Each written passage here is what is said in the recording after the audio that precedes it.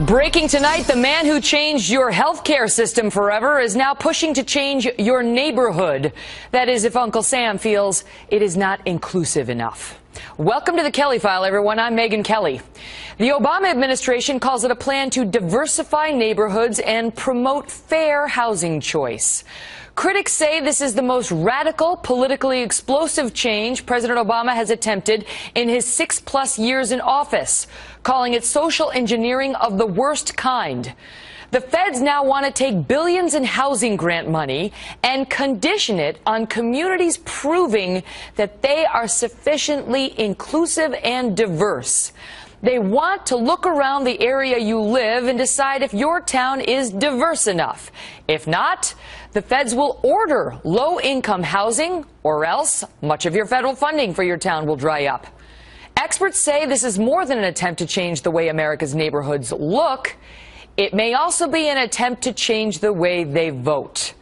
Joining us now, nationally syndicated radio host Richard Fowler and Fox News contributor and former chief presidential speechwriter to George W. Bush, Mark Thiessen. We begin tonight with Mark.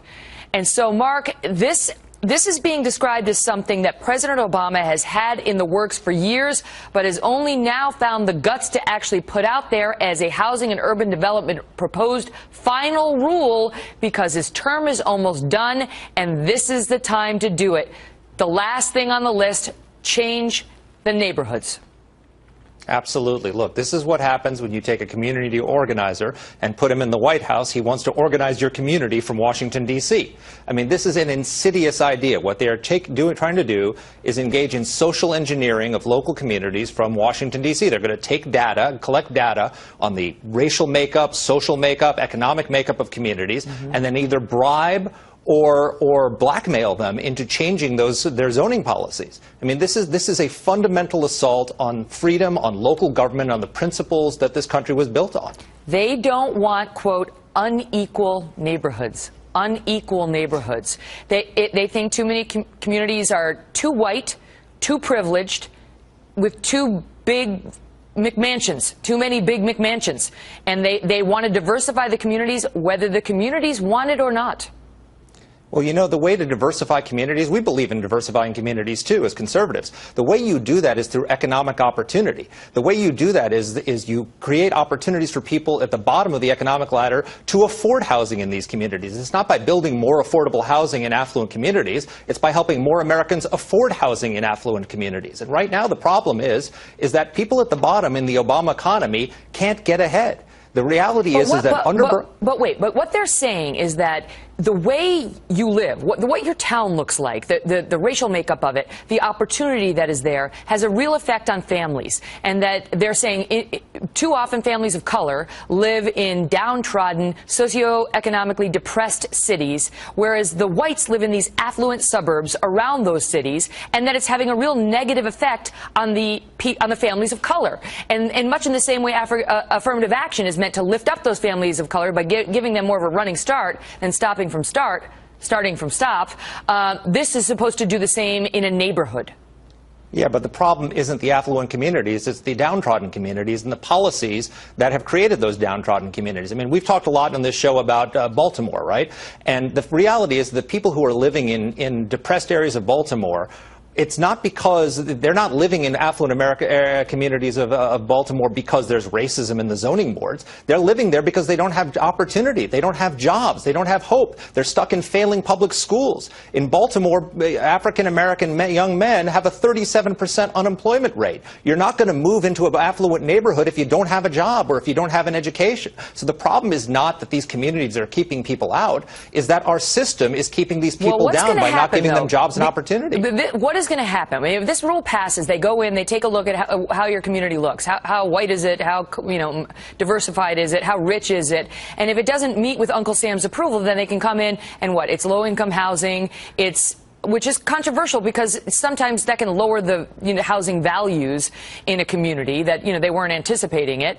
Um, and, and what I mean, what else? What would it look like?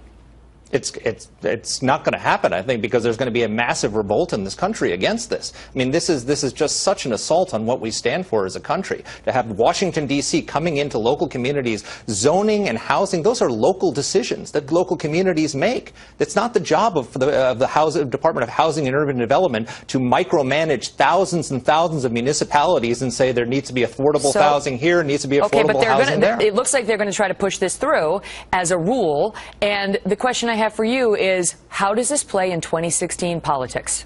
It's going to be very important in 2016 politics for a couple of reasons. Number one, because uh, the person who's implementing this, you know, Julian Castro, the HUD secretary, is on everybody's short list to be Hillary Clinton's vice presidential nominee. Ah. Uh, so, so, so he this if he get, if he gets tapped to be Hillary's running mate, this is going to be a very, very central issue. And secondly, because right now what they're going to do if this rule goes through and if it's not blocked by Congress, they're going to start collecting the data first before they can implement it. It's not going to get implemented under Barack Obama. The next president is going to implement it. So this is a major issue. Is Hillary Clinton going to re-engineer your community if she is elected president And she's going to say the Julian Republicans Castro? are against uh, communities of color. She's going to say that the, That's the exactly what they're gonna white try and say. flight, uh, th those folks who, who pursued white flight wanted to stay that way, and they don't want people of color moving in next door to them. And that's racist and discriminatory.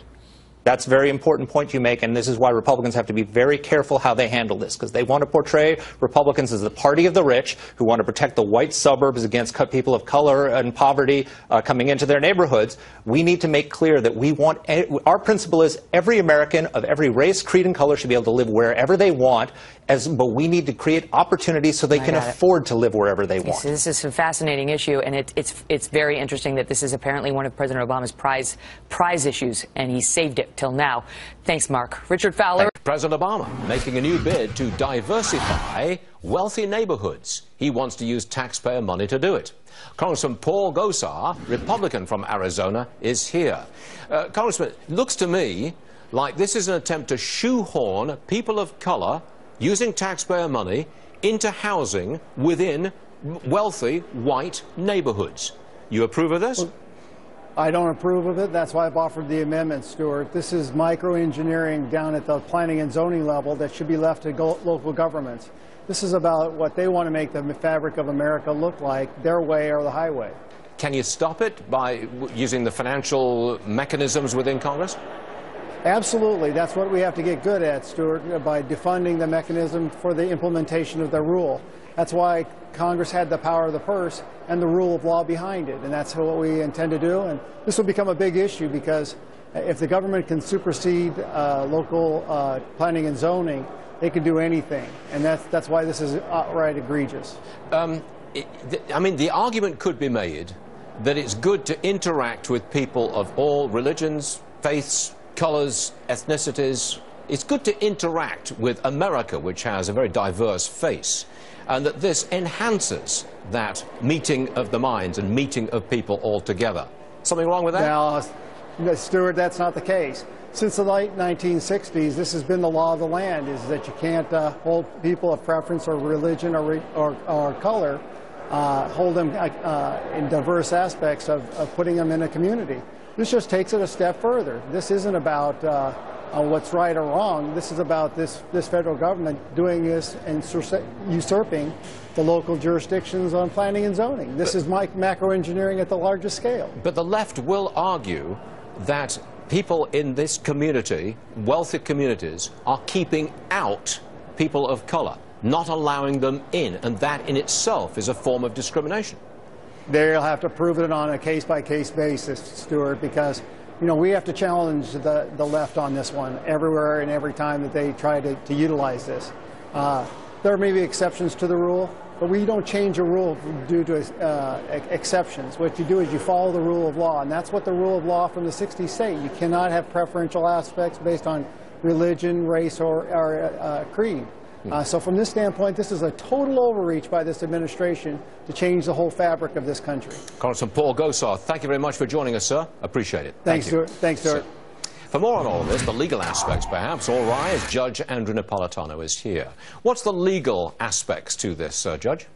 You know, Stuart, I, I, I think there are profound constitutional implications here, and they are the following. One, can the president spend discretionary funds in a manner never even contemplated by the Congress when it gave him the money to spend?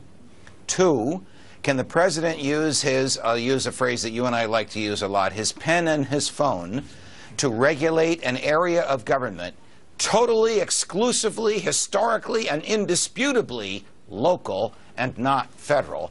And three, what to do about a president who doesn't respect the confines of the Constitution and thinks he can social engineer things as, as local as who can build what building on what city block. Look, the way they're going to do this, Stuart, is to offer money to local municipalities to change the zoning laws. Now, if you and I walked into a government office and said, change those rules and I'll pay you for it, we'd be arrested by the FBI for bribery. But when the federal government does it, the Supreme Court says it's an acceptable way for them to, to get laws changed in an area that they don't have authority over under the Constitution. It's reprehensible, and I hope the congressman that you just had on and his colleagues will stop it. I don't see a racial implication here. Hmm. This is an Orwellian overreach by the central government into an area exclusively in, uh, under the control of the locals since 1791. There's obviously when people spoke with British accents. Yeah, I thought that was coming. Yeah, a real fast question. I want to get Guy Benson into this in a second for the political angle. One last question to you, Judge, if I may. Is social engineering generally frowned upon by, by people like you who are constitutional scholars? I mean, in other words, does the Constitution allow us, allow the government to engineer our society? You know, it's a, it's a very good question. The first part of your question is, of course, it is frowned upon by small government people who believe that the Constitution means what it says and the federal government can only regulate in the 16 areas delegated to it under the Constitution. But the Supreme Court has allowed the federal government to spend money in areas outside those 16 areas and attach strings to that money, and the effect of complying with those strings is a regulation. That's what terrifies me is that the Supreme Court may say, look, they could have rejected these federal dollars, but they accepted, accepted them. Now they have to accept the strings that come with them.